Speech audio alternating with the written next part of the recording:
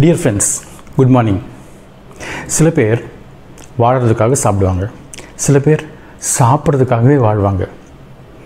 மூச்சு முட்டை சாப்பிடுவாங்க. இஷ்டம் போல் சாப்பிடுவாங்க. அவ்வளோ கிரேஸ் அட சாப்பிட்டுட்டுமேங்க. ஒரு ஜான் வயிற்றுக்கு தானே இவ்வளோ கஷ்டமோ? வயிற்றுக்கு யாராவது வஞ்சனை பண்ணுவாங்களா? கடவுள் எவ்வளோ படைச்சிருக்காரு. இஷ்டம் போல் சாப்பிட வேண்டியது தானே? காலையில் டிஃபனுக்கு எடுத்துக்கோங்க.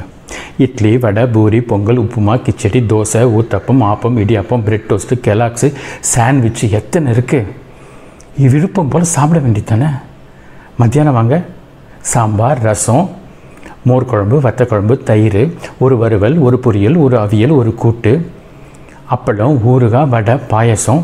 இன்னொரு பக்கம் biryani fried rice chicken sixty five eighty five ninety five சுறா புட்டு எறா வறுவல் எறா தொக்கு மட்டன் சுக்கா. வரிசையாக கொடுத்துருக்காருல கடவுள். இஷ்டம் போல் வெட்ட வேண்டியது தானே?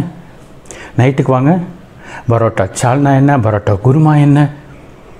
அதுக்கப்புறம் tandoori roti paneer butter masala manchurian North Indian South Indian West Indian எவ்வளோ இருக்குது இட்டாலியன் பார்பிகோ அப்புறம் grilled chicken pizza burger desserts sweets cakes ice creams ஆஹா வகை வகையாக கடவுள் கொடுத்து வச்சுருக்காரு.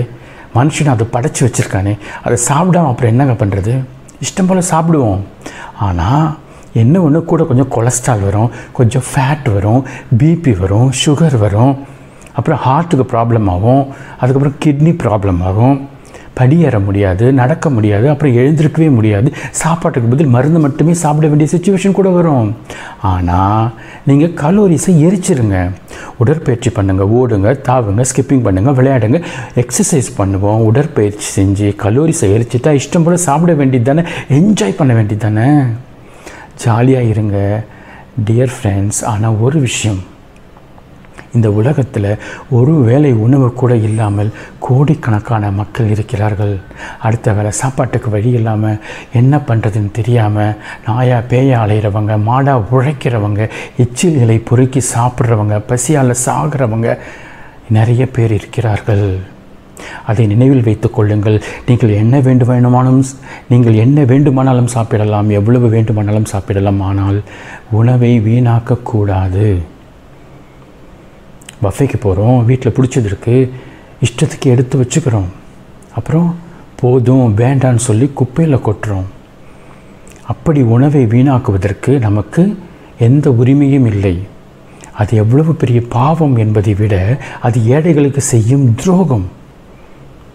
என்ன வேண்டுமானாலும் சாப்பிடலாம் நமது உரிமை எவ்வளவு வேண்டுமானாலும் சாப்பிடலாம் நமது உரிமை. ஆனால் ஒரு கைப்பிடி உணவை கூட வீணாக்கக்கூடாது. அதற்கு நமக்கு உரிமையே கிடையாது. அதனால் திருந்துவோம். இனி உணவை வீணாக்குவதில்லை என்று ஒரு பிரமாணம் எடுப்போம். ஓகே? டாட்.